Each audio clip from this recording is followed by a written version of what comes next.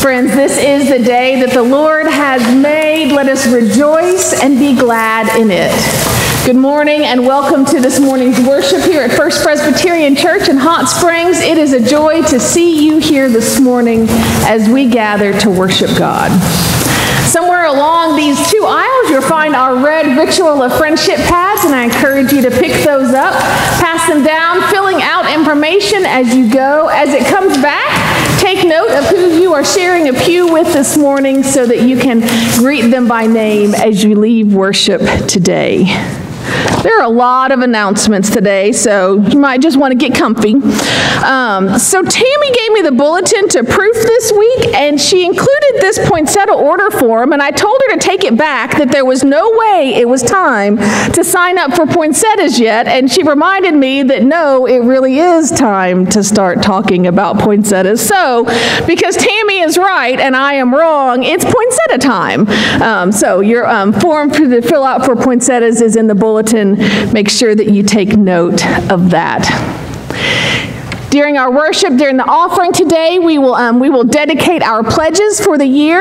Um, I've seen, I've seen these in some pockets, so if you brought your pledge card this morning, that's fantastic. If you forgot your pledge card this morning and would like to grab a blank one, they're going to be just sitting right over here, and you can sneak down and grab one, and then you'll have it to fill out. If you don't have your pledge card this morning, fear not. You can always mail it to the office, or you can bring it by the office, or you can call one of us and we'll come to you and get your pledge card. We will make that work. Um, but do remember that that will happen this morning. This afternoon at 3 o'clock, we have our Halloween party. Uh, we are excited to pick this tra um, tradition up again. We will be at the Leonards. Um, the address is 118 Shore Acres Drive. That's off of Thornton Ferry, close to the McDonald's. Um, but if you put that address in your, um, in your phone or in your GPS, it will get you right there. So 3 o'clock, we look forward to seeing everyone there. Um, we have picture perfect weather today. Um, so make, make your way there and enjoy some fun and fellowship and a little good food um, and maybe some costumes. You never know. Um, but it will be it will be a good time. A reminder this Wednesday is a fifth Wednesday, which means PW ladies, we will head out. Um, we're going to Purple Cow. We have our own room in the back so we can be as rowdy as we need to be at Purple Cow on Wednesday night. Um, if you have signed up on the sign up board, fantastic. If you have not, make your way after church today and sign up on the board, and we will look forward to that. Next Sunday is our first Sunday in November, um, which means it is All Saints Sunday. If, um, if there is someone that you want to make sure is included in our All Saints remembrance, um, contact Kathy this week in the office and make sure that we have all of the names of the loved ones to be remembered next Sunday. And if you are just particularly kind, you could just stop by and ask Tammy to look at the list and, and take a look. She is excellent at making sure we don't miss anyone. Um, but the more eyes on that, the better. My guess is if I took a survey in here as to who right now is a little on the warm side and who in right now is a little on the cool side, we might have equal numbers. Um, it is hard to get the sanctuary to a temperature that works for everyone. But our deacons have thought about that problem. In the narthex now, where the coat rack is, there are shawls hanging on the hangers in the coat rack. So if you are chilly in worship, head back, grab one of those shawls. There are lightweight ones, there are heavier ones. They are ready for you. There's a basket underneath. So when you are done with your shawl after worship, just drop it in that basket. It will be washed and ready for someone to um, pick up next week. So do not let, um, do not sit and shiver in worship. We may be called the frozen cho chosen, but we do not want anyone to freeze. Um, so if you do feel um, chilly in worship, feel free to make your way um, back to the narthex and grab a shawl to keep you warm. That was a lot of announcements. I think that's all of my announcements. Are there announcements that are known to the body that I have missed? Well, then, friends, let us take this time to prepare our hearts as we begin to worship God.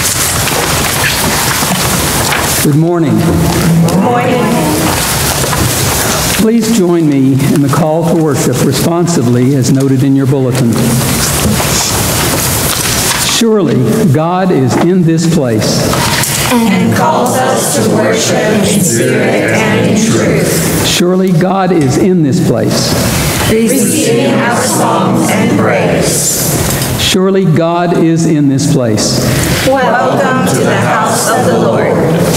Let us pray. Lord God, whom no dwelling can contain, in this house we gather to call upon your mercy to thank you for your goodness, and to praise your name forever. In this hour of worship, help us to become who we are meant to be a community that breathes thankfulness, voicing your praise in all we do. Amen.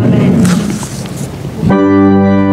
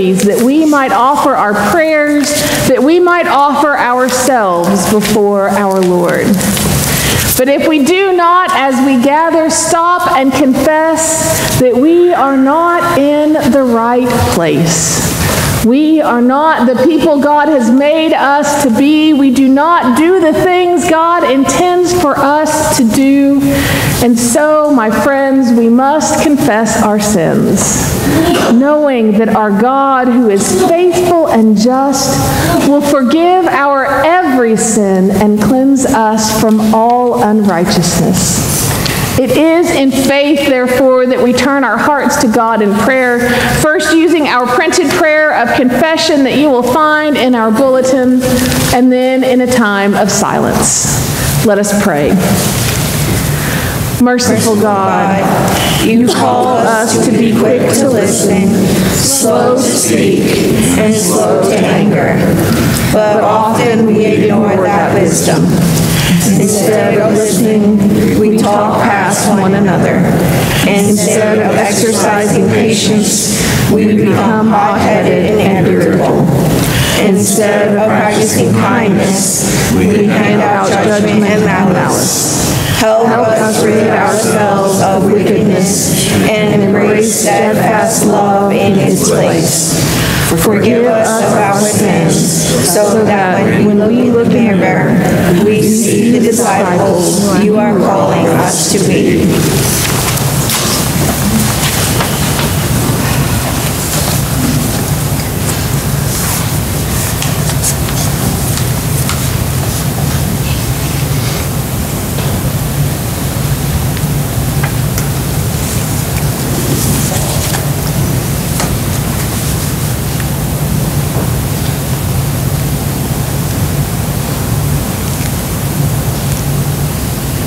Amen.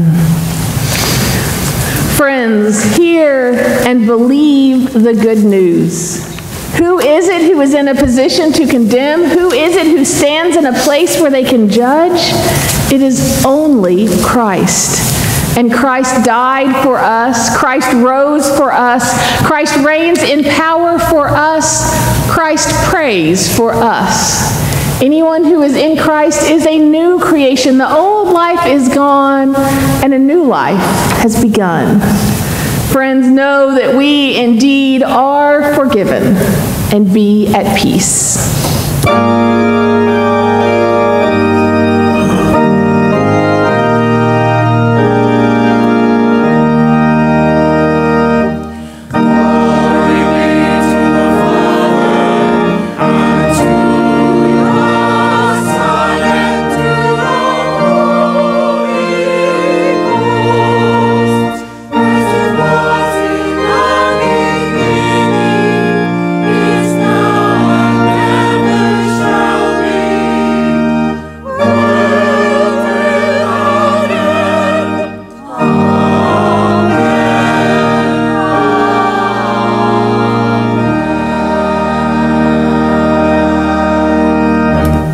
May be seated.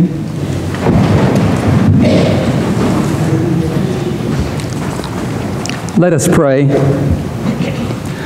Loving God, you promised in the Scriptures that your word will, will be a lamp unto our feet and a light unto our path. May it be so today. Amen. Our first scripture reading is from 1 Kings chapter 5 verses 1 through 5, page 307 in your Pew Bible. Now King Hiram of Tyre sent his servants to Solomon when he heard that they had anointed him king in the place of his father. For Hiram had always been a friend to David. Solomon sent word to Hiram, saying, You know that my father David could not build a house for the name of the Lord, his God, because of the warfare with which his enemies surrounded him, until he put them under the soles of his feet. But now the Lord my God has given me rest on every side. There is neither adversary nor misfortune. So I intend to build a house for the name of the Lord my God, as the Lord said to my father David, Your son, whom I will set on your throne in your place, shall build the house for my name. The word of the Lord. All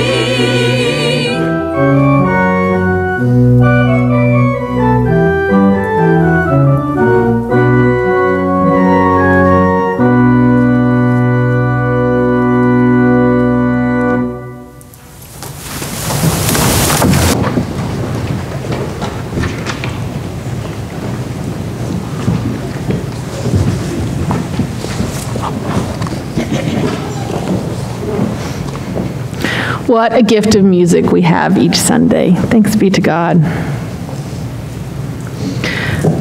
Our second scripture reading comes from a few chapters later in 1 Kings.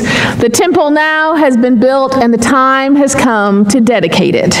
So we read from 1 Kings chapter 8 verses 1 through 13. Listen this morning for God's word to you. Then Solomon assembled the elders of Israel and all the heads of the tribes, the leaders of the ancestral homes of the Israelites, before King Solomon in Jerusalem, to bring up the ark of the covenant of the Lord out of the city of David, which is Zion. All the people assembled to King Solomon at the festival in the month of Ethanim, which is the seventh month. All of the elders of Israel came, and the priests carried the ark. So they brought up the ark of the Lord, the tent of meeting, and all the holy vessels were in the tent. The priests and the Levites brought them up. King Solomon and all of the congregation of Israel who had assembled before them were with him in the ark, before the ark, sacrificing so many sheep and oxen that they could not be counted or numbered. Then the priests brought the ark of the covenant to the, of the Lord to its place in the inner sanctuary of the house, in the most holy place, underneath the wings of the cherubim. For the cherubim spread out their wings over the place of the ark. So the cherubim made a covering above the ark and its poles. The poles were so long that the end of the poles were seen from the holy place in front of the inner sanctuary, but they could not be seen from the outside. They are there to this day. There was nothing in the ark except for the two tablets of stone that Moses had placed there at Horeb, where the Lord made a covenant with the Israelites when they came out of the land of Egypt. And when the priests came out of the holy place, a cloud filled the house of the Lord. So the priests could not stand to minister because of the cloud, for the glory of the Lord filled the house of the Lord. Then Solomon said, The Lord has said, He will dwell in thick darkness. I have built you an exalted house, a place for you to dwell forever. Friends, this is the word of the Lord. Thanks be to God. Anyone who has handled a construction project can tell you, but construction always takes longer than you think it's going to. A contractor died in a fishing accident on his 42nd birthday and found himself greeted at the pearly gates by a brass band. St. Peter ran over, shook his hand, said, Congratulations! Well, congratulations for what? The contractor said. For what? St. Peter said. We are celebrating the fact that you lived to be 162 years old. But that's not true, the contractor said. I, I only lived to be 43. Huh, said St. Peter. We added up your timesheets.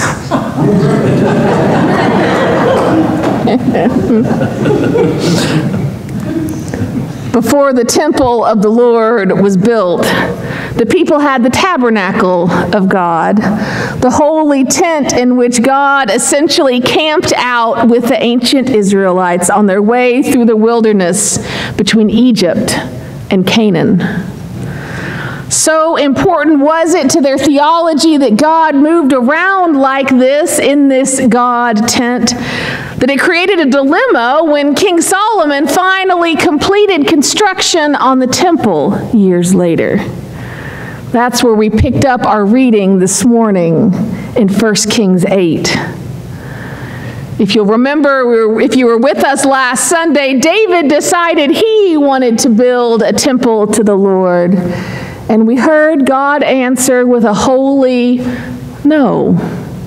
Not yet, David. Not now.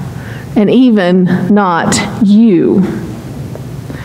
I don't need a permanent house quite yet, God said to David. I have not lived in a house since the day I brought the people of Israel from Egypt to this day but instead have been moving around in tents and in a tabernacle. But David's son Solomon finally got the green light and if you look back at the chapters preceding our text today, you would read the temple's impressive scale, quarried with the stones from which it was constructed, walls entirely lined with elaborate carvings out of cedar overlaid with pure gold. You'd read about elegant, elegant sculptures and vessels and furnishings of the temple, many of them gold and jeweled as well temple rather than the tabernacle would be what Jonathan Alter calls a terrestrial communication center for speaking with God. And what a fancy communication center it turned out to be.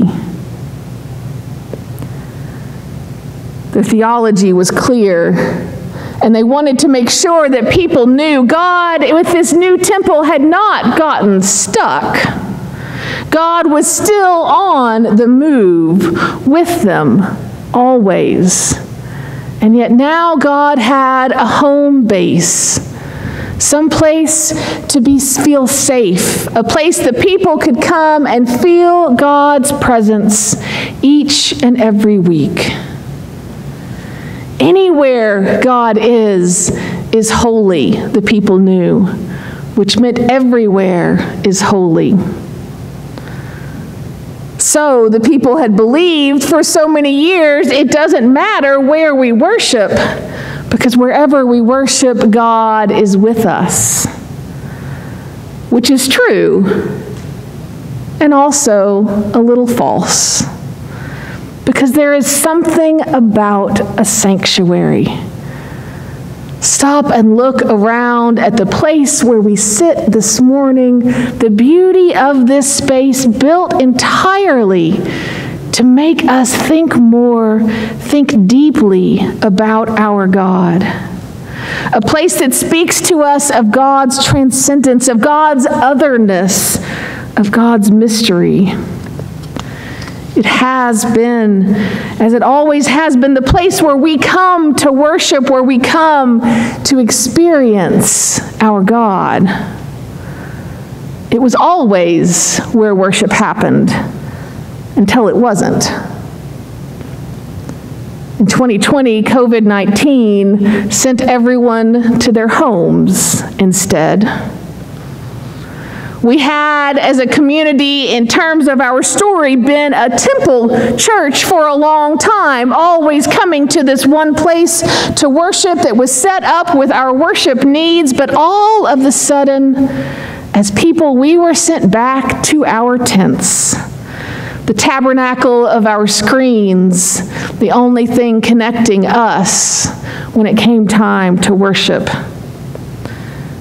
And we did worship. I know you did. I've seen the videos of that holy time, and worship indeed happened, but let's be honest, it was not the same. So, if with Solomon, our question for this day is Does it really matter where we come to worship our God? Our truthful answer has to be no, not really. And heck yeah, it does. All at the same time. So many of us, though, long for the days to get back to the way things were before COVID interrupted our lives. But I think we might be missing out a little on the lessons God has for us. Because we are lucky enough now to understand both the power of the tabernacle and the power of the temple. We know God forever on the move with us wherever we are, even if it's not exactly where we want to be. Not tied down to a single place, ready to meet us where we are. And we know God forever in the holy sanctuary a place set aside where we can know that we can always come and feel a little closer to God's holy presence. So maybe, maybe we got to experience a little bit of the best of both worlds. Now you'll notice that our readings today skip a little bit from where we started in 1 Kings to where we ended. The lectionary passages often do as we're trying to make our way through the story. We skip straight from the announcement of building the temple to its dedication. Anyone who has built a new house would love to have that power in their own lives to skip straight from the idea of getting started to being done and moving in. But the details that come between help tell our story. We learn in these intervening verses that Solomon instates an immense work gang, as the CEB translates it, to carry out the labor to build the temple. The word that is used for this workforce in the Hebrew mos only shows up, only else shows up in the description of how the Israelites were treated in Egypt where the brutal Pharaoh and his taskmaker, taskmasters made them work without any pay. The treatment of the people of Israel in Egypt were the reason that they had left in the first place, and yet that same type of work was required again as the people struggled to build the temple. It was all for God, Solomon proclaimed as he undertook practices that once led God to send locusts and frogs and deaths and to split the sea in two. The people, though, weren't so sure. And we see that shortly after Solomon's death, the nation splits into two. The fractures that came during this time couldn't ultimately be healed. We also learn about the differences in time that it took Solomon to build the temple versus how long it took him to build his own palace. The narrator here is typically concise, noting almost in passing that the temple took seven years to build, while the palace took 13, without commenting on the discrepancy the years, the numbers stand for themselves. Almost twice as long they spent building the palace to hold the king than the temple that would hold the presence of God.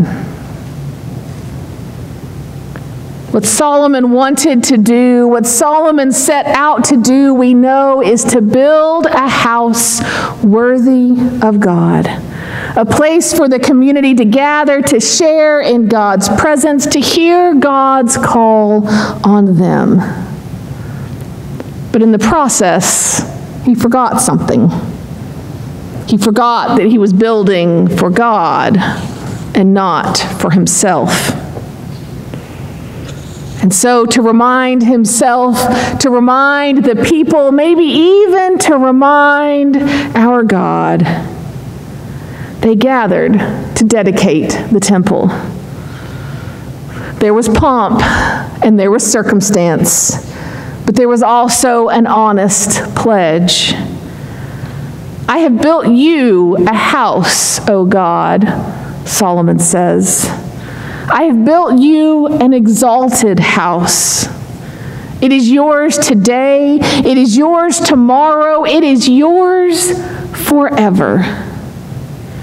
He said it in front of the people so that when he forgot, they could help him remember. And friends, we are dedicating a little ourselves today too. We are dedicating our pledges, our promises, our intentions to give financially to the church in the year that is to come.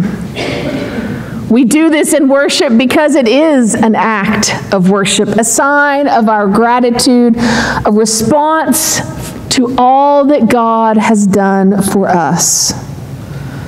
And so after the ushers get past passing the plates, you will be invited to come down and bring your offering, bring your pledge card to the table yourself. We do this to remind ourselves. We do this to remind each other. We even do this to remind our God that we have a plan. A plan for God to build a great church Maybe not one inlaid with gold and with rubies like Solomon, but maybe one that's even better. One that maybe is decorated by sticky fingerprints of the children who call it home. One that is filled with the sounds of laughter that bubble over between members one whose strong foundation is prayer and is study, and then on that foundation reaches out to all of those in the community, all of those in the world who are in need. This is your place, God. And we promise, today we promise, we will do our part to take care of it. And so today we remember Solomon, who built God an incredible house. And we remember the people who wandered in the wilderness and who met God in their tents. Today we remember those who came before us in this congregation, who kept fighting for the future that we enjoy.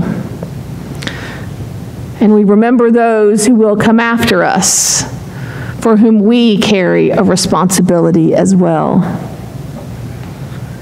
Today we remember our community, all of those whose lives are touched, whose lives will be touched by the mission and ministry of First Presbyterian Church in Hot Springs.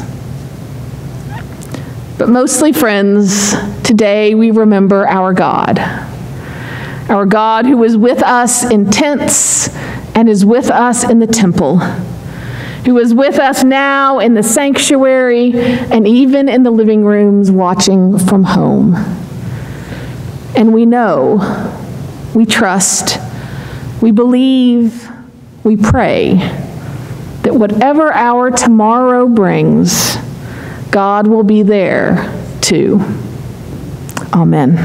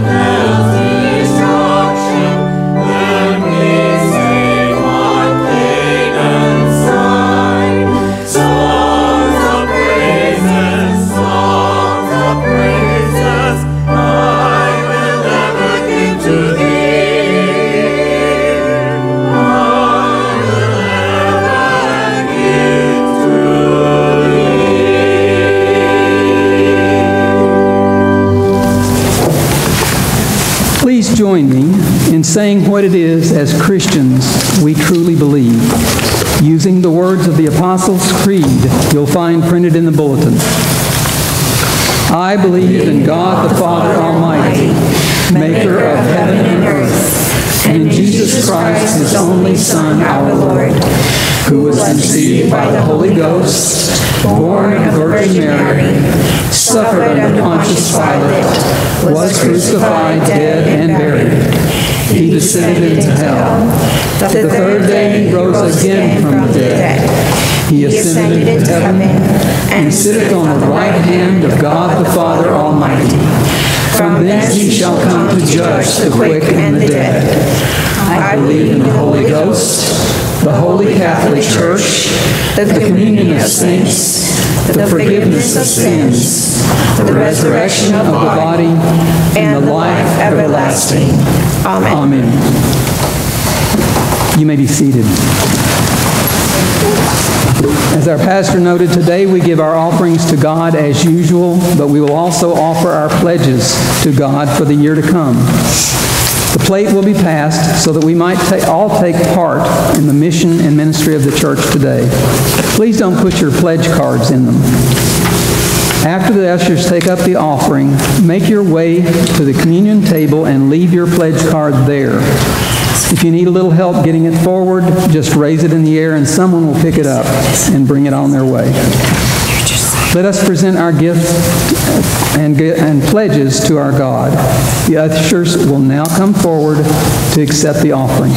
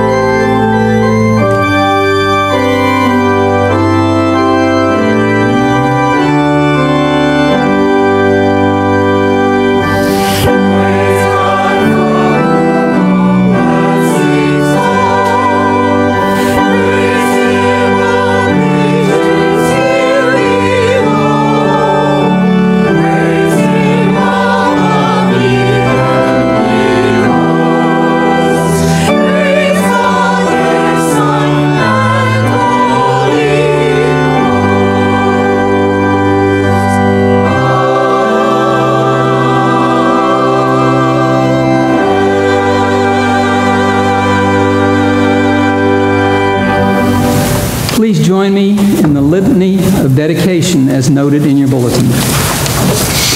Receive these gifts, O God. We offer to you, O God, these gifts in humble thanks for the love you give to us. Accept these pledges, O God. We offer to you, O God, these pledges in gratitude for your promises to us. Renew our commitment, O God.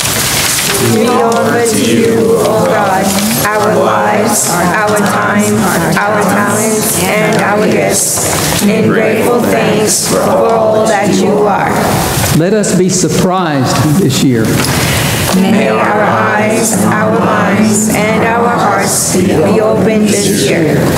May we be surprised in our lives, in our church, and in our ministry together. Thanks be to God. Thanks be to God. You may be seated.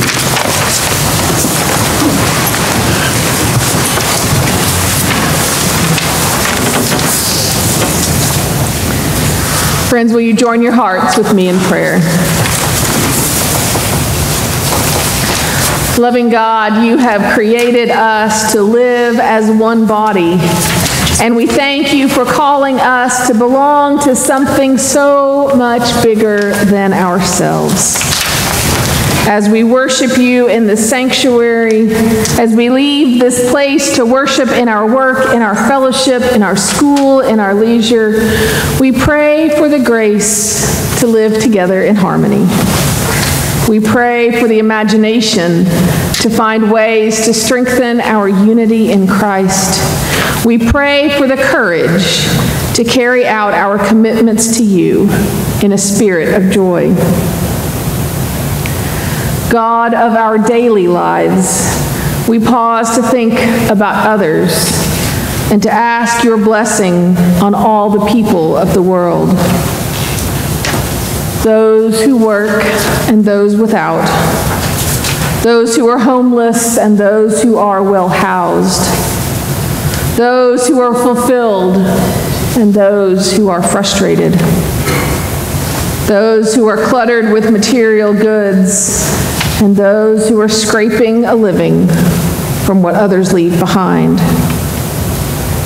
those who are mourning and those who are dancing. We pray for all of our siblings, O God, that your blessings might multiply their joys and ease their worries, and that we might share with them in their suffering and in their hope. As we face a new season, O God, help us to believe in new beginnings. When there was nothing, you spoke and the world was. Help us to believe in the power of your words. Help us to listen to your call. Help us to trust in you. Help us to allow you to remake us into people who live the life we are called to with the passion that we are shown in Christ Jesus our Lord. We pray this and so much more in the strong name of Jesus, who is our shelter and is our strength, and who taught his disciples when praying together to say, Our Father, Our Father, who art in heaven, hallowed be thy name. Thy kingdom come, thy will be done, on earth as it is in heaven. Give us this day our daily bread, and forgive us our debts, as we forgive our debtors. And lead us not into temptation, but deliver us from evil. For thine is the kingdom, and the power, and the glory forever. Amen.